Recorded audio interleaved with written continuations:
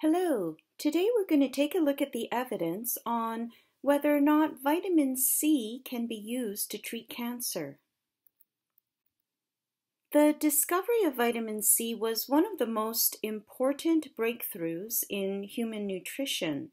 It was first found in the 18th century that citrus fruits could prevent the horrible effects of scurvy, which led to the deaths of many sailors. However, it wasn't until 1932 that vitamin C was isolated and identified. Vitamin C serves many essential functions in our body in addition to its well known role as an antioxidant. Prolonged deficiency of vitamin C could lead to some very serious health effects and makes us vulnerable to a number of diseases.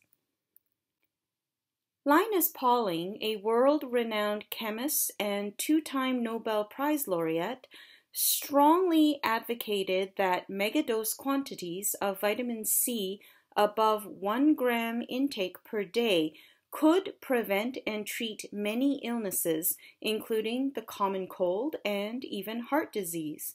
However, mainstream medicine has largely ignored or even ridiculed Pauling's claim. This controversy is still very much alive today. Nearly 60 years ago, a Canadian doctor named William McCormick observed that cancer patients had severely low levels of vitamin C in their blood and had scurvy like symptoms. In 1972, extending this theory, Ewan Cameron, a Scottish surgeon, hypothesized that vitamin C could suppress cancer development. He began treating terminally ill cancer patients and published a case report of 50 patients in which some of the treated patients benefited from high dose vitamin C.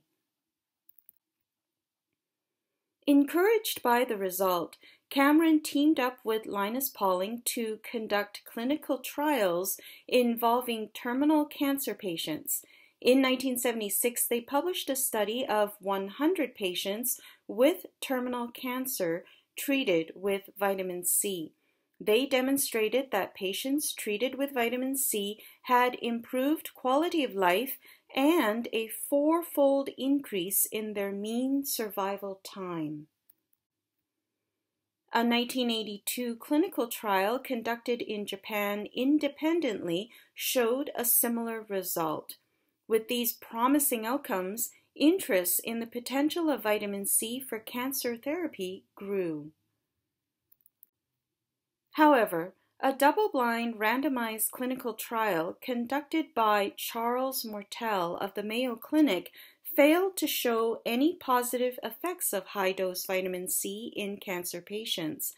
Mayo Clinic's clinical trials were conducted more rigorously, people trusted the Mayo Clinic's data, and discredited the Cameron Pauling trials, dampening the enthusiasm for vitamin C as a cancer therapy. However, there were two crucial differences between these studies. First, the Mayo Clinic trials abruptly stopped the vitamin C administration, switching to traditional chemotherapy when a patient developed signs of tumor progression. Thus, the overall mean time of vitamin C treatment under the Mayo trials was only 2.5 months, while the Pauling and Cameron trials treated patients for the duration of the entire study period or as long as 12 years. More importantly, the Mayo Clinic trials administered 10 grams of daily vitamin C to patients only orally, while the Cameron and Pauling trials administered their vitamin C both orally and intravenously. This difference in the two dosage routes is very important.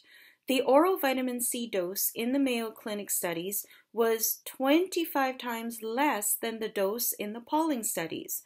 When given orally, vitamin C concentration in human plasma is tightly controlled by multiple mechanisms acting together, intestinal absorption, tissue accumulation, renal reabsorption and excretion, and potentially even the rate of utilization.